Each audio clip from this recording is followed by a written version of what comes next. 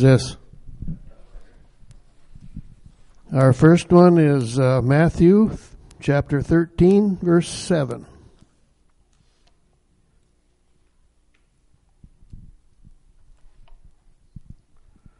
Other seed fell among thorns, which grew up and choked the plants.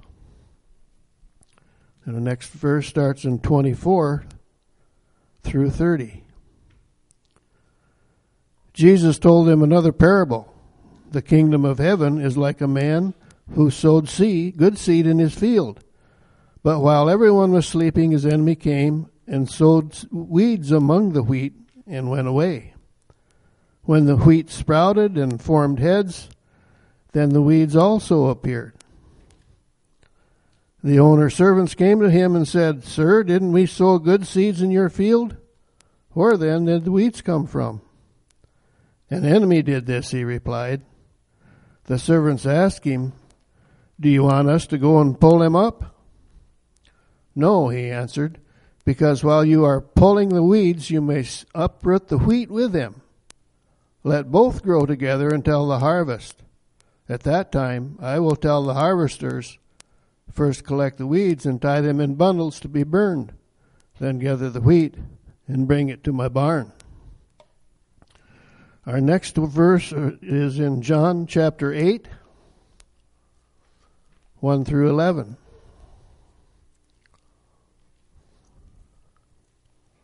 Eight, one through eleven.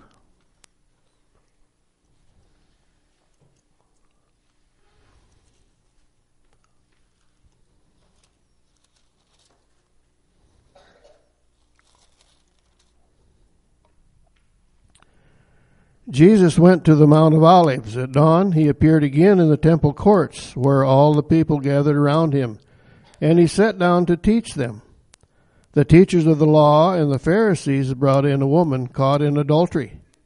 They made her stand before the group and said to Jesus, Teacher, this woman was caught in the act of adultery. In the law, Moses commanded us to stone such women. Now, what do you say? They were using this question as a trap in order to have a basis for accusing him. But Jesus bent down and started to write on the ground with his finger. When they kept on questioning him, he straightened up and said to them, Let any one of you who is without sin be the first to throw a stone at her. Again he stooped down and wrote on the ground. At this, those who heard began to go away, one at a time the older ones first, until only Jesus was left with the woman still standing there.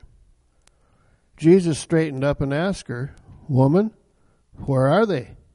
Has no one condemned you? No one, sir, she said.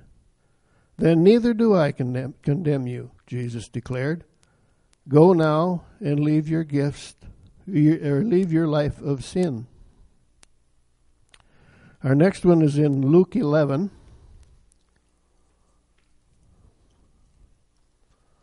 Uh, verses 24 through 26.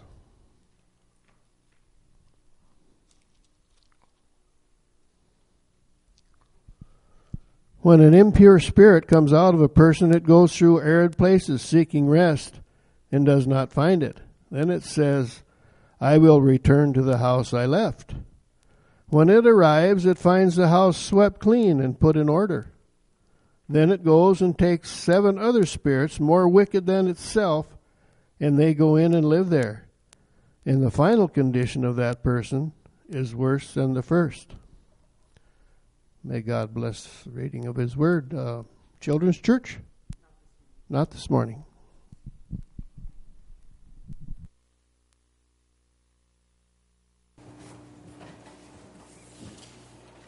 Thank you, Jerry.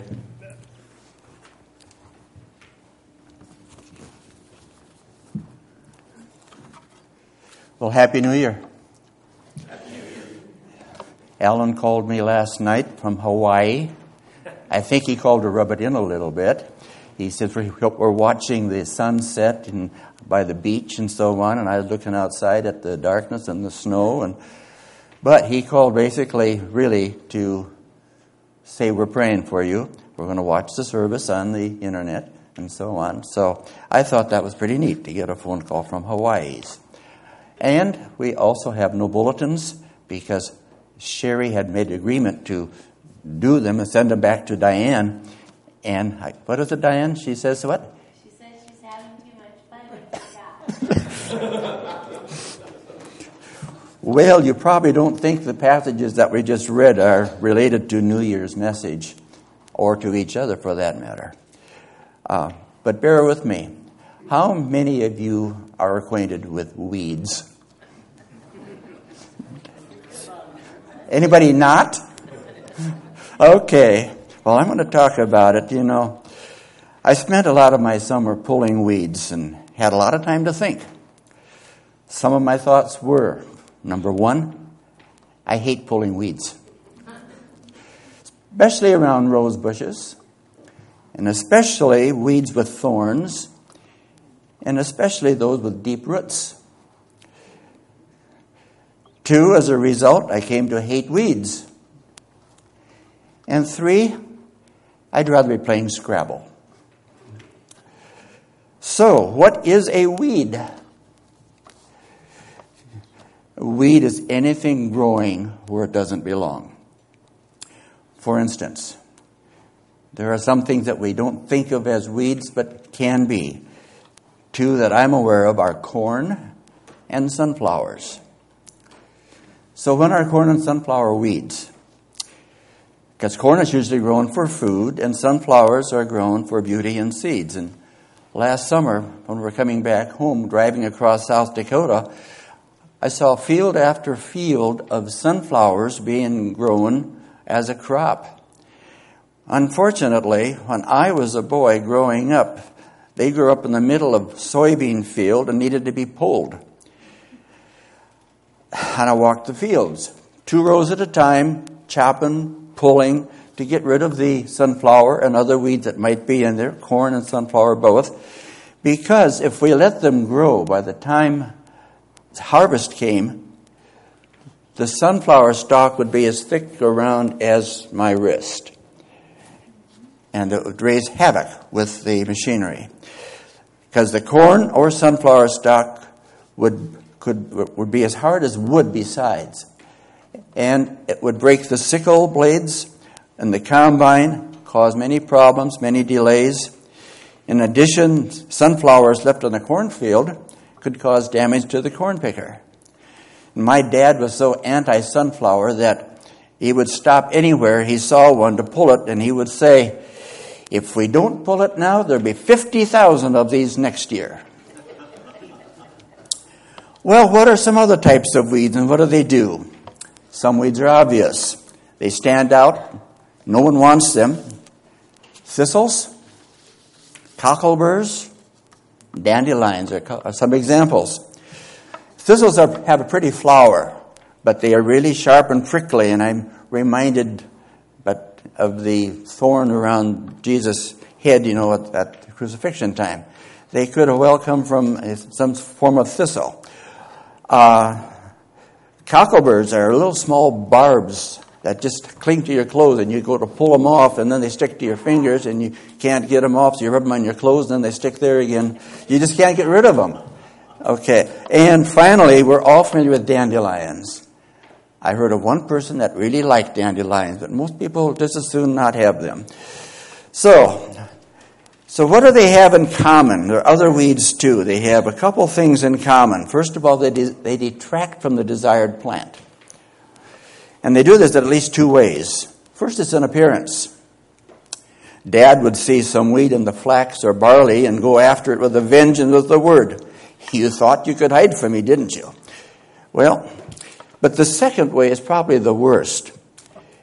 It takes nutrients away from the desired crop. And I'm going to come back to nutrients in just a little while. So I would like to take another look at the parable of the sower in Matthew. And I see in other applications. My understanding on reading it in most applications is that they don't become Christians when they hear this because they turn away and so on. But I think it can represent Christians too. Christians can hear the word and then get detracted and not take it as seriously as they ought to. because they can get caught up in the cares of the world as well. And as a result, weeds can come and cause problems in the Christian's life. Now, what are some weeds in our lives that are obvious? Well, some real obvious ones would be drunkenness and murder and pornography.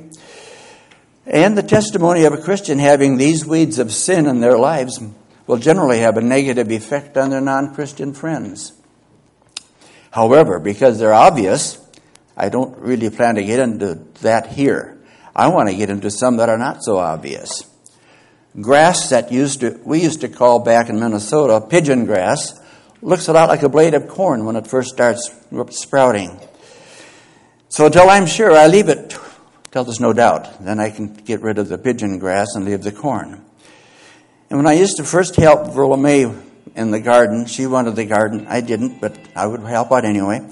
I would be frustrated in the carrot row. There's a, there's a weed that I don't think occurs any place but in carrot rows. It looks just like a carrot. And it took me a while to be able to tell them apart. So again, unless we're sure, we need to leave it alone, and, and then we can pull them. Now, there are a lot of these not so obvious weeds that show up in churches. And at first glance, they appear to be respectable. And the following are some of these weeds, and I'm going to talk about a few of them. One of the weeds is the so-called deadly is from one of the so-called deadly sins from the early church history. It's called gluttony. Ah, you didn't expect that one, did you? Probably one of the Christians' most favorite popular sins because we all enjoy our potlucks and fellowship dinners.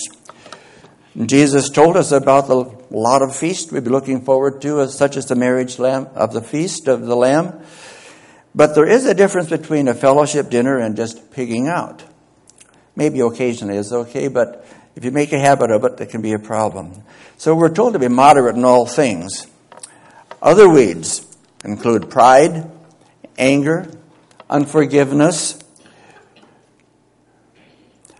arrogance, and covetousness.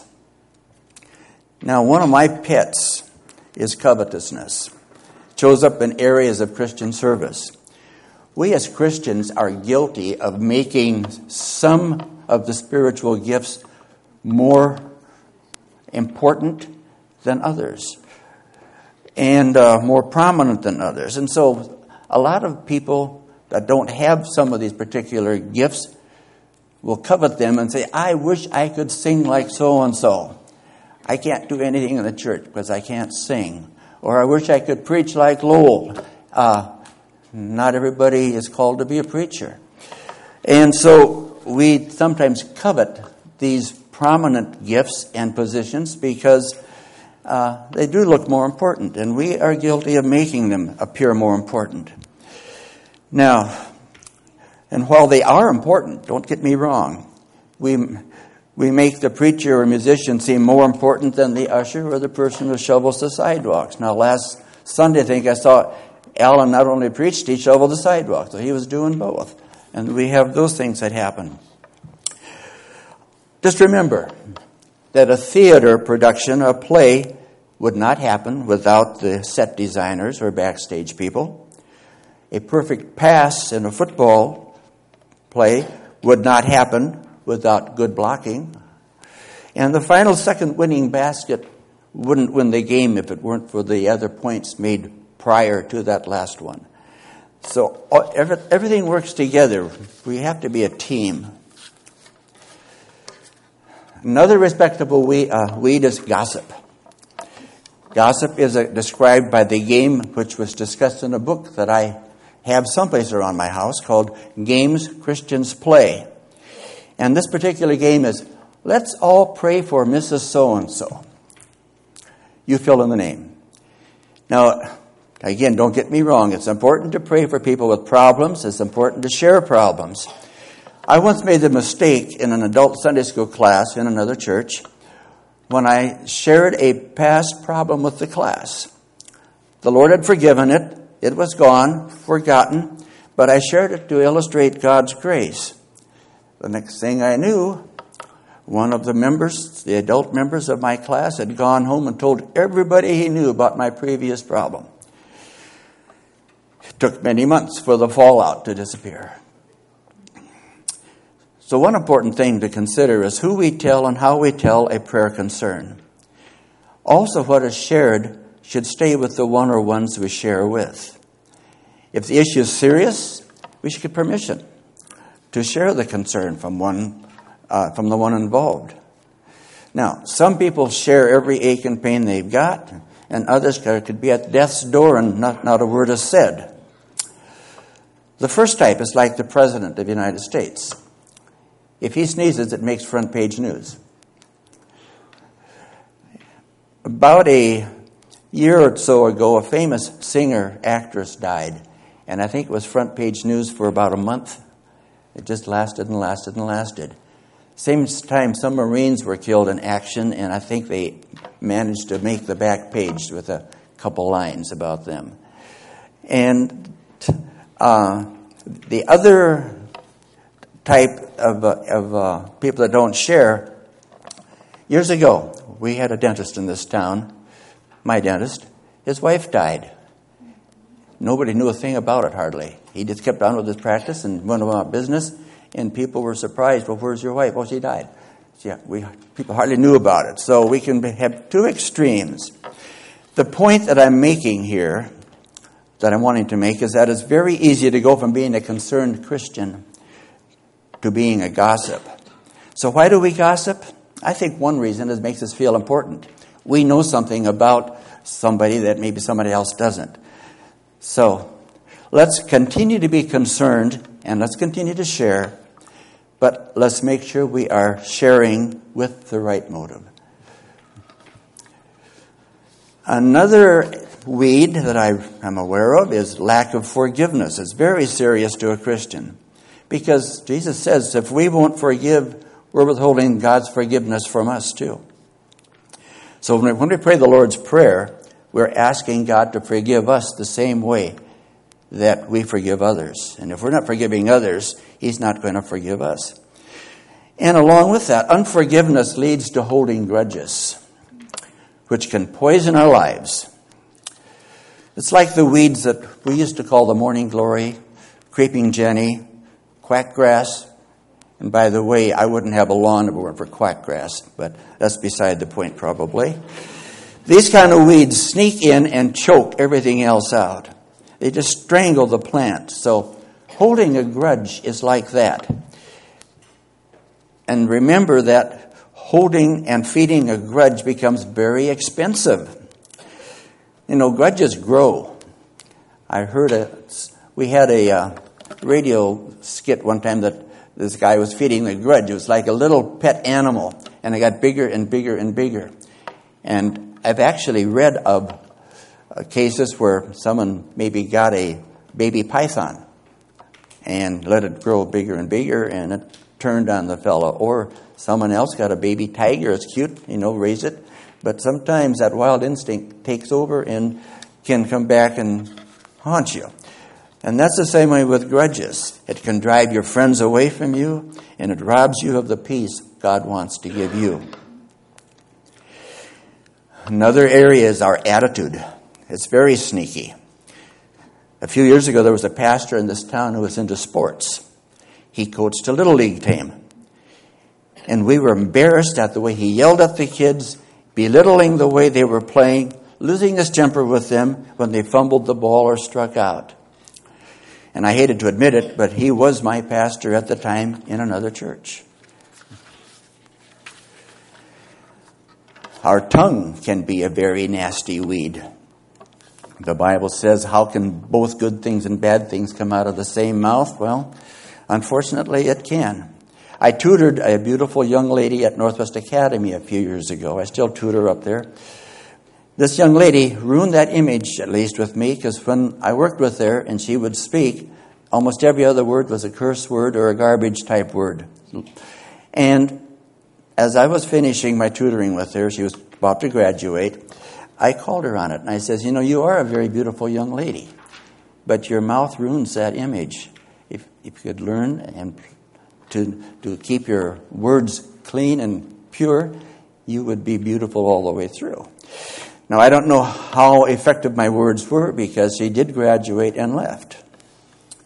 Now, as mentioned, weeds can destroy the beauty of the harvest or the flower garden. Now, I want to emphasize one thing these weeds don't condemn us to hell. Our salvation isn't ruined, but they sure can affect our testimony. Jesus said, If I be lifted up, I will draw all men unto me.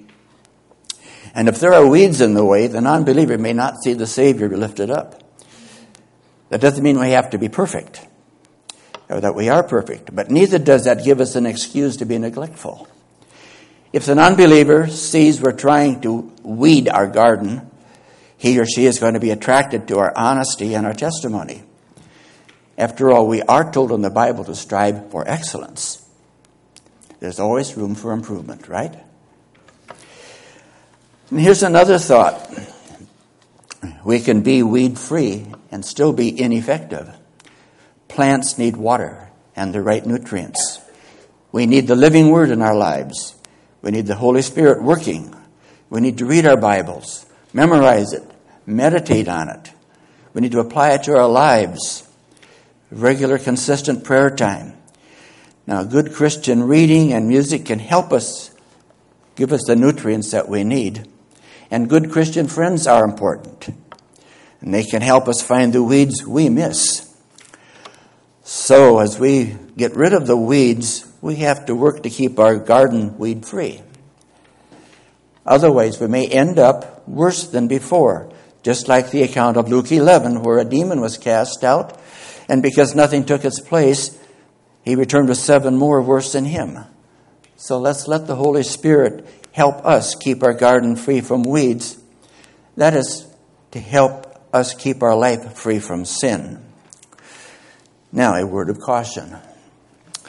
It's so much easier to see the weeds in someone else's garden than in our own. So let's be careful to remove the weeds of sin from our own lives before we start messing with someone else's garden.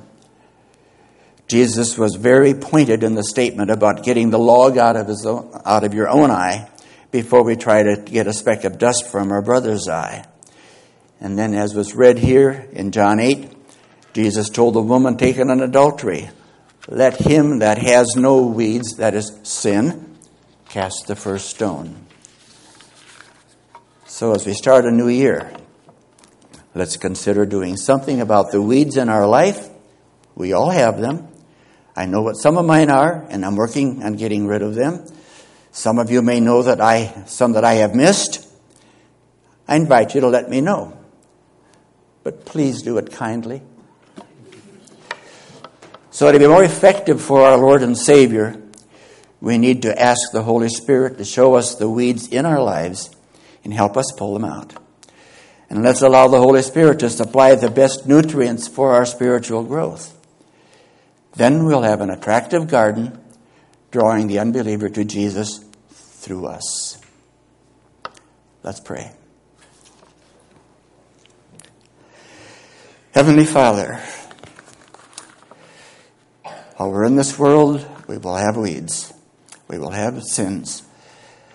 They're the little sins. They're not the big ones necessarily. And they don't keep us from going to heaven. They don't affect our salvation. But Lord, again, they do affect the way others see us. And Lord, even this morning, I had a weed pointed out to me by one of our members. And so help us, to help me to work on that and help us to work on our weeds. And, well, New Year's resolutions may be good. Help us to keep in mind that it's only what we apply through the Word of God that really makes a difference. So help us, Lord, to get rid of these weeds in our lives to be more attractive for you to others. Amen.